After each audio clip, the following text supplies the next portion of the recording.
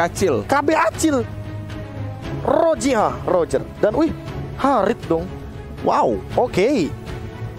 Ini Oke. menarik banget. Apakah Marki? Ya, kayaknya dia emang benar-benar pengen ngamanin untuk dari segi gold lane-nya. Tapi apakah itu tetap akan menjadi jawaban yang baik? Karena ingat, Harit absorb damage-nya akan termakan oleh Esmeralda. Hmm, benar banget. Ini salah satu apa ya approach yang menarik. Tapi kalau ngeliat dari komposisi Onyx PH, mereka harus main early. Kalau enggak RRQ dengan komposisinya ini mid ke late ini power spike-nya jalan semua.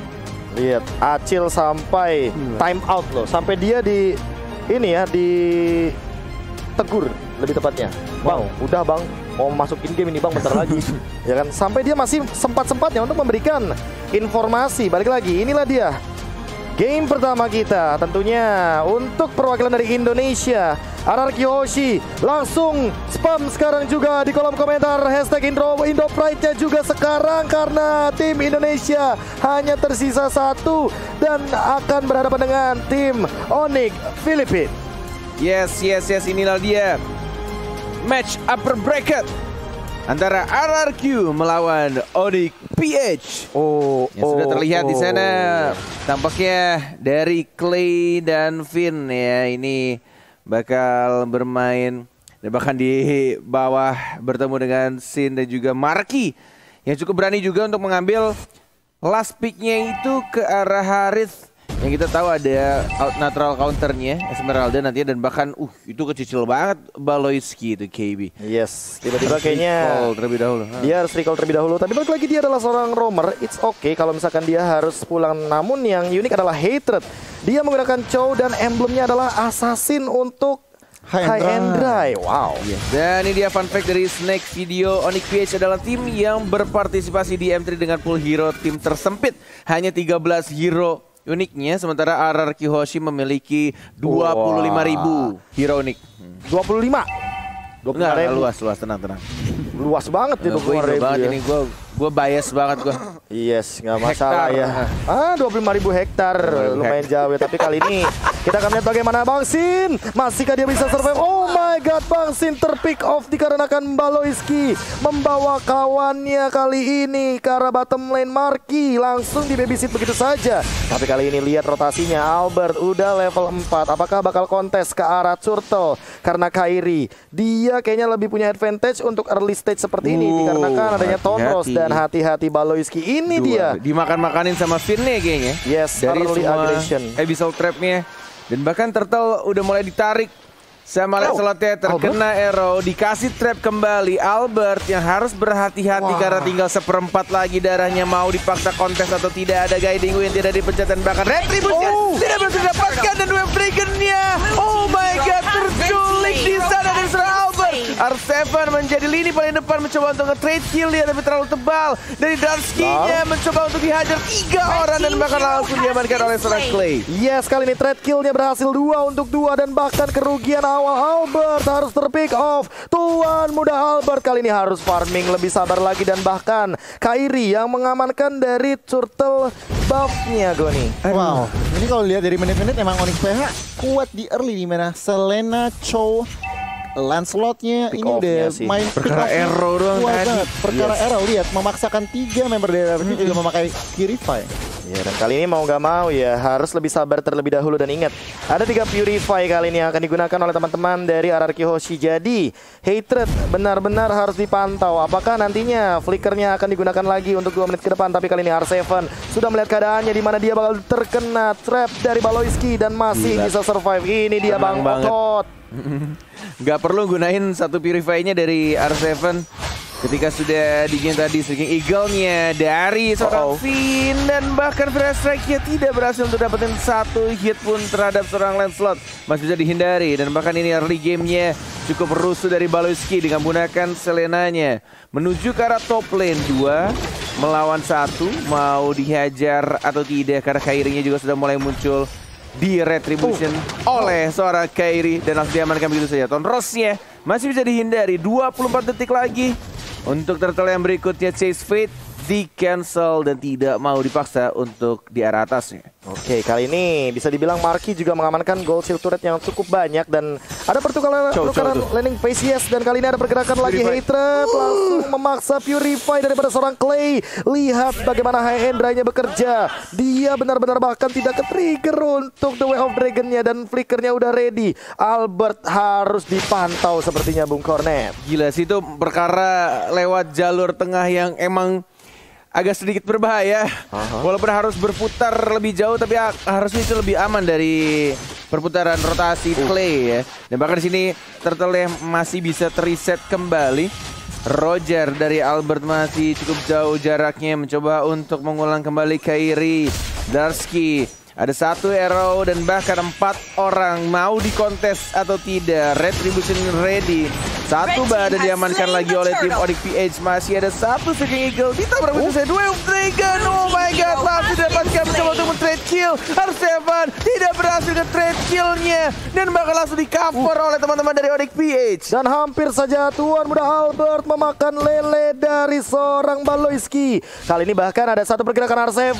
Dia mencoba untuk bertahan, masih ada Purify dan dikejar. Trapnya masih connect. Tapi R7 masih punya Frostmourne Shield. Nggak bakal bisa ditumbangkan. Namun kali ini bottom lane sepertinya harus hilang. Goni, what happened? Gila ini permainan makro dan early potential dari teman-teman Onyx PH tuh bener-bener dimaksimalin. RRQ harus pilih-pilih tim fight di early gamenya. Erunya sih. Iya sih. Iya.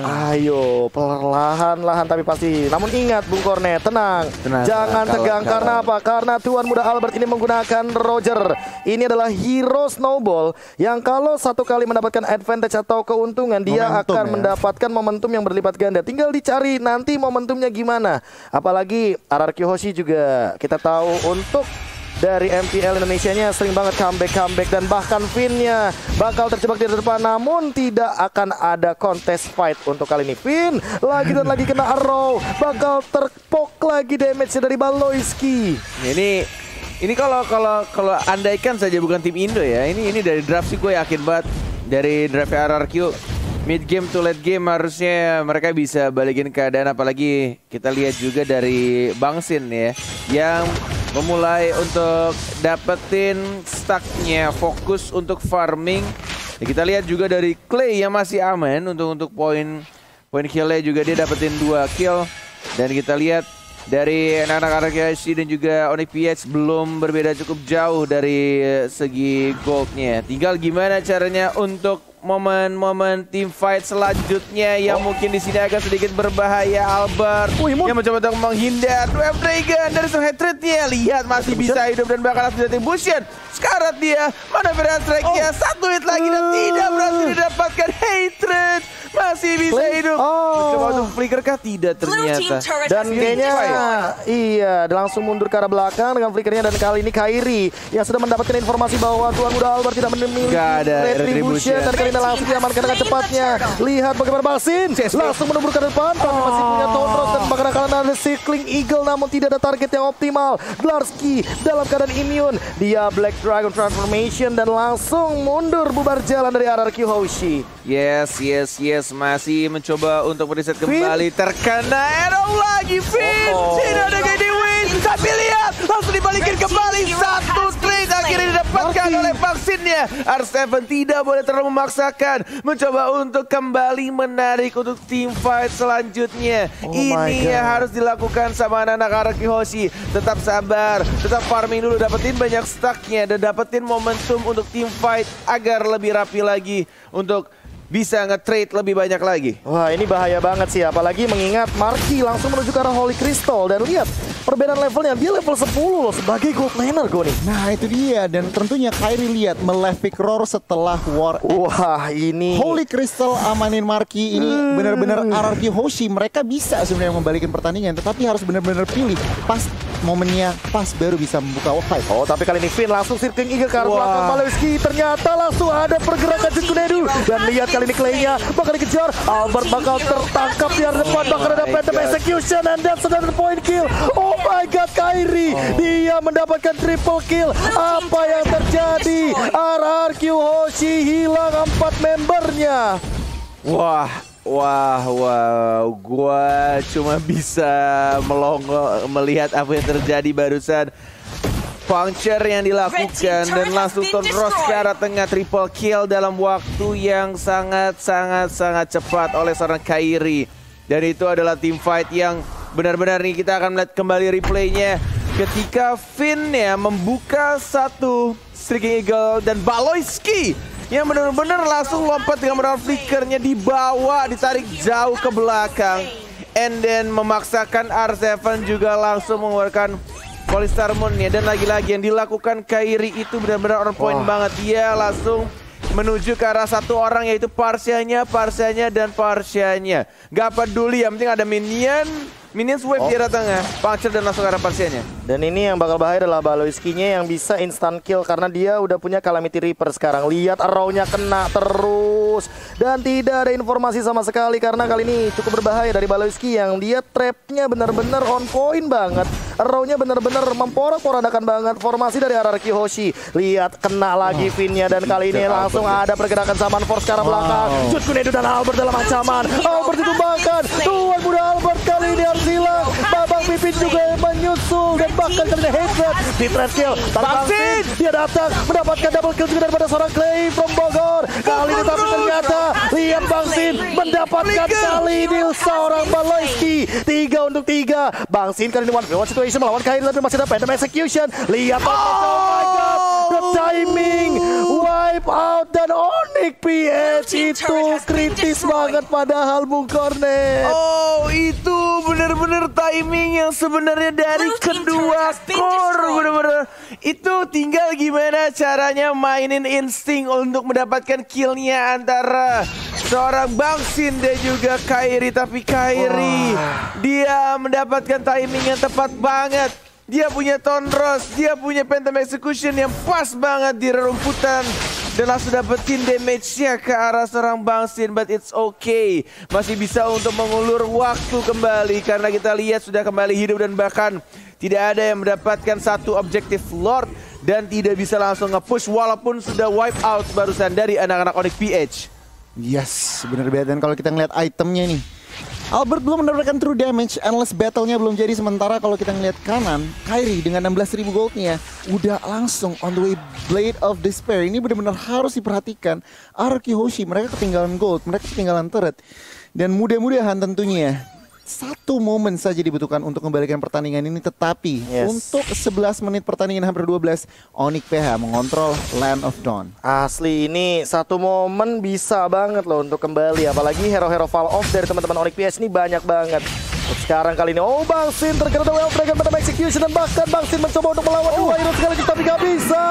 Unstoppable daripada seorang Kairi. Kali ini empat member dari RRQ Osi mulai diporak-porandakan dipaksa untuk pulang Glarski mencoba untuk dengan Black Dragon Formnya dia memaksa pulang semuanya. Lihat Cyclone Eye-nya bahkan diambil. Kairinya langsung hadir juga. Phantom Execution lagi. R7 apakah mampu untuk bertahan? Arrow-nya dilontarkan lagi. Tidak boleh ada yang mendekat ke arah Lord yang pertama Karena kali ini Lord pertama akan diamankan oleh Onyx PH Nih benar-benar. Tinggal gimana caranya dari RRQ menahan dan bahkan dari Bangsinnya ya sekarang sudah ready untuk flickernya. Tadi ketika di game juga tidak ada flicker. Ya tinggal menunggu ini sudah mau level maksimal walaupun sempat tertinggal tadi dari seorang Kairi yang level maksimum duluan. Lord sudah mulai berjalan di arah tengah.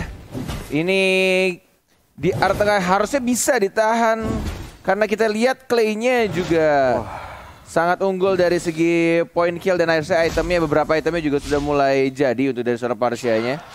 R7 sudah mulai di depan bersama seorang Finn. Dia diingguin satu skill Lord karena sudah di atas menit 12. Sudah mulai merelakan satu inhibitor turret. Lord sudah mulai masuk dan mencoba untuk membersihkan minion di arah atas dan bawah. Strategi yang cukup baik dilakukan sama RRQ melepaskan middle turretnya karena sudah setengah darahnya. Dan lebih baik menjaga di sisi lainnya, KD. Yes, kali ini perlahan-lahan lihat yang harus diperhatikan adalah hatersnya. Wow. Tapi arrow-nya connect kali ini Albert dalam ancaman. Langsung terkena Sondros dan